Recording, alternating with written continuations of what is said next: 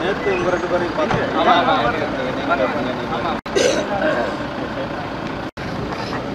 அண்ணா அண்ணா அண்ணா.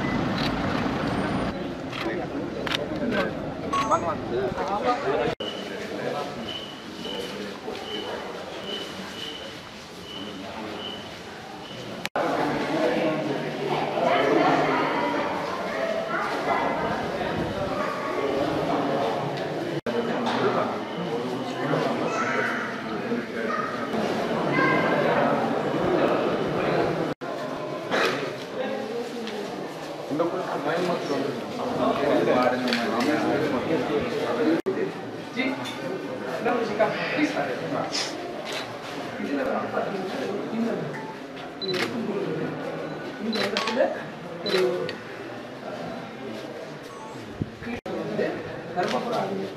நாங்கள் ஒரு தோரண வளைவு கட்டுறதுக்கு பெரிய ஒரு பிரச்சனையாக இருக்குது மதங்களுக்குள்ள பிரச்சனையை உருவாக்கி விட்டுருந்தாங்க அரசியல்வாதி.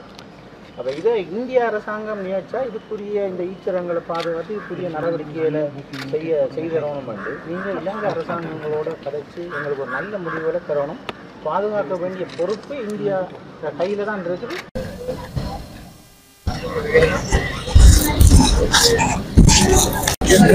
வர